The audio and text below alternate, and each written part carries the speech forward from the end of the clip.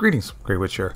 Today we're going to talk about the Enus Paragon R. Now this vehicle is going to set you back $905,000, but it's going to be closer to 1.4 million once you fully upgrade and customize this vehicle. Now this vehicle is based on the third generation Bentley Continental GT, and in my opinion is one of the cooler vehicles that we've gotten in the game in this recent DLC because I am really digging the way that this looks. And there's a pretty fair amount of things that you can do to customize this vehicle to make it your own.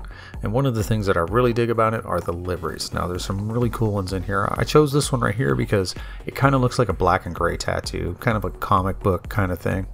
I really dig the way that this is looking. And the other thing about this car is it kind of reminds me of a stretched out Porsche 911 and it was like it was added on top of the Buffalo S, which happens to be Franklin's car from Story Mode.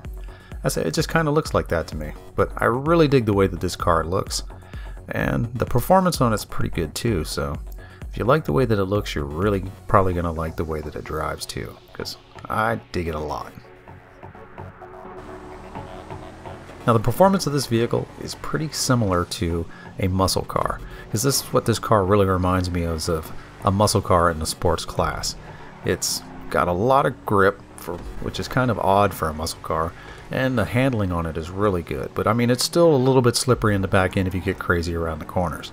The torque in it's awesome, and pretty much all the other stats are right up there. So this is a, a fairly good sports car for your collection if you're going to add it in there. I love this car, and I do believe that this is probably going to become my new favorite sports car. So, I was going with the Elegy there for a while, but this one right here, I, know, I think is going to take that spot. It's just, it's got everything that I like about it in a car and it's not too crazy it's not too nimble it's, it handles well it's not too jerky or anything like that. And even though it is still a little slidey in the corners it's not so bad that it's you know something would be a game you know just I don't even want to have that so. I really do dig this one and I think most people will too. Alright this is Grey Witch. I hope this video helps you out and I'll see you next time. Peace